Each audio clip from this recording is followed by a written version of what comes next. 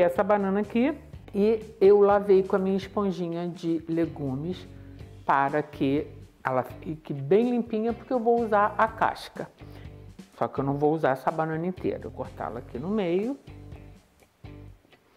E vou cortar rodelas não muito finas, como também não muito grossas. Eu adoro fazer chá. Eu acho que chá é uma maneira não só de você se refrescar, se você consumir ele gelado, como também para te aquecer nos dias de frio. E é uma ótima maneira também, dependendo do chá, ele é muito bom para a sua saúde. Bom, vou pegar aqui o meu bule infusor. Só que o que, que eu vou fazer? Eu não vou usar agora a parte do infusor. Eu vou colocar as minhas rodelinhas de banana dentro do bule.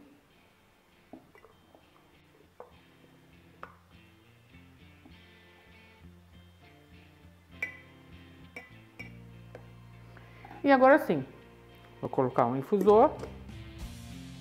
Porque o que, que eu quero fazer? Eu quero colocar o maracujá aqui por causa das sementes. Eu comprei esse maracujá roxo, que foi o que eu achei aqui no mercado, mas você pode fazer com qualquer maracujá. E para não perder nada, eu vou cortar ele diretamente aqui em cima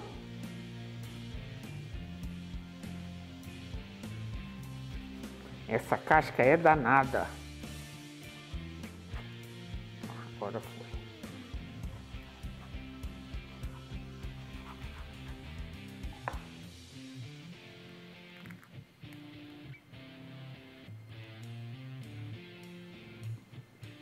Com uma colherzinha você retire as sementes. Hum, nossa, que perfume gostoso de maracujá.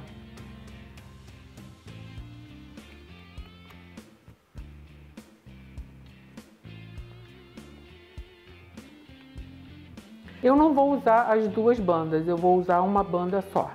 Então agora, o que, que a gente faz? Agora eu vou pegar ali no meu micro-ondas a água, porque eu prefiro aquecer no micro-ondas, porque aqui tudo é elétrico e é mais rápido no micro-ondas do que no fogão. Agora, se você não tiver um bule desse, não fique triste. Coloque as rodelinhas de banana dentro de uma leiteira ou uma panela mesmo, Abra o maracujá, coloque lá dentro e aí é só você colocar a água por cima, dar uma mexidinha, dar uma amassadinha nas, nas sementes de maracujá e coloque a tampa ou até um pires para que eles fiquem reposando e você tenha o seu chá. Mas eu vou buscar minha água e já volto. Eu tenho aqui 400 ml de água que eu vou colocar um pouquinho e com esse meu socador vou amassar as sementes para que o maracujá saia aqui.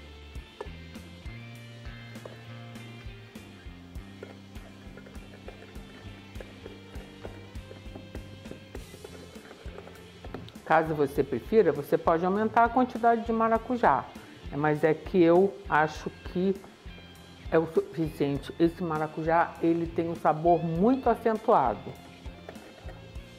E ó, como vocês podem ver, já está até amarelinho.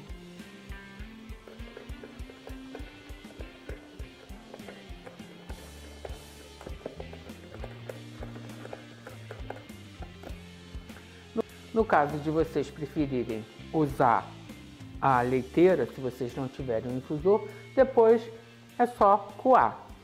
E os chás que eu já fiz, aqui eu tenho que falar, eu fiz um chá que eu tô viciada, que eu tenho tomado de manhã, que é o chá de hibisco com maçã e gengibre. Que tem várias propriedades terapêuticas. Agora, você pode também escolher o chá de camomila com maracujá, que é um chá super calmante.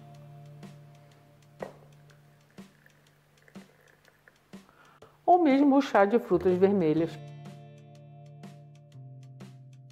Foi onde a Mari pediu esse chá. Dê uma olhadinha na nossa playlist. Chá que você vai achar todas essas receitas. Agora vou colocar a tampinha e vou aguardar que essa mistura pegue o sabor do maracujá e da banana. Daqui a pouco eu volto. Após uns quatro minutinhos, vocês podem ver a casca da banana já deu uma leve escurecida, a parte da fruta mesmo já está mais macia e a minha mistura pegou já todo o sabor da banana e do maracujá. E agora vamos lá. Deixa eu fechar direitinho a tampa.